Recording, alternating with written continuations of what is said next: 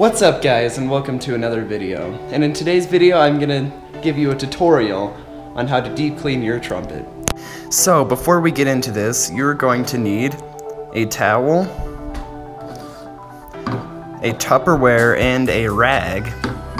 And of course you're going to need your trumpet. So um, if you need to gra grab some things, go ahead and pause the video, but let's get started. So, um, let's, with your rag, you you want to put it into the Tupperware so the stuff is, well, it won't be dented. We'll put that in the bottom of it. What you want to do now is take your trumpet and you want to take off all the small parts, so like including the mouthpiece, um, we'll take out these valves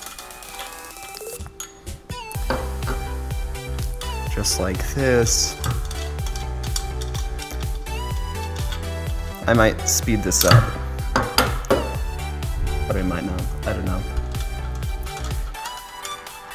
So yeah you're just gonna want to take off all of the small parts on your trumpet.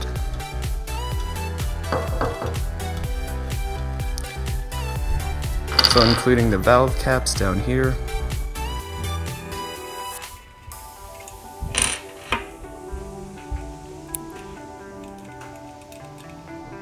That, and you also want to take out your um, tuning slides.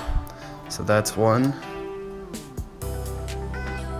Uh, let me take this out. But if your um, tuning slide like this isn't coming out, then um, it might be seized up.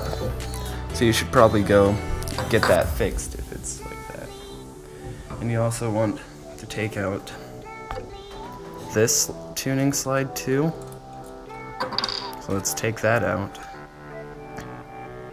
Oh, I need to take that out. Put that there. And here's our the body of our trumpet. So let's set that back on the stand and with the valves. You want to make sure that you take out these felt pads.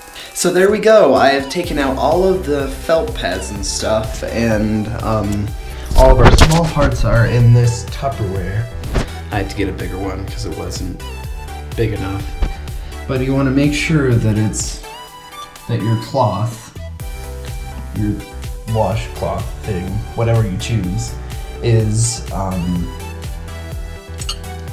big enough for all of your parts. And as you can see, all of our parts are here. So now here's the um, important part. You want to make sure that um, you don't get too hot or too cold of water because it can take off the paint and the special stuff, I don't know what it's called, but you just want to make sure that it's perfect. So, um, Let's test this water here. Okay, I have found the perfect um, temperature for the water. And so what you're going to want to do is fill this up. So my um, small parts have been soaking for a little while and um, next we're going to move on to the um, actual trumpet part. So what you're gonna wanna do is take, let's set that down,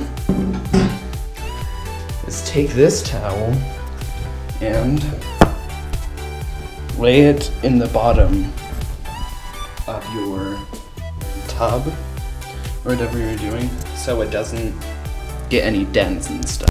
And we're just gonna do the same thing as we did to the small parts we're going to um, fill this up with um, lukewarm water.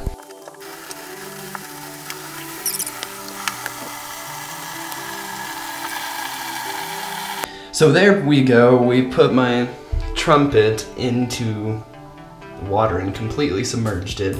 I'm gonna leave it there for about half an hour to an hour. So it's been around an hour and a half since I started this, and um, we're going to first of all we'll take the trumpet out of here because that's the easiest part and make sure that all the water is out of this so since we have done all of the um, soaking now you can leave all of the parts of your trumpet um, on like a dry towel so it can dry for a while so um there we go. Oh, wait. You also need to make sure you have kept these felts dry. Anyway, if you have enjoyed this video and you found it helpful, please give this a like. It's greatly appreciated. And um, you probably know Ren. Um, he's a person that I know. He's one of my friends. And um, he already has or he's going to upload a video about how to deep clean a trombone or clean a trombone. So make sure you check that out. Um, the link to his channel will be um, in the end card. And yeah, that's going to be it. See you next time.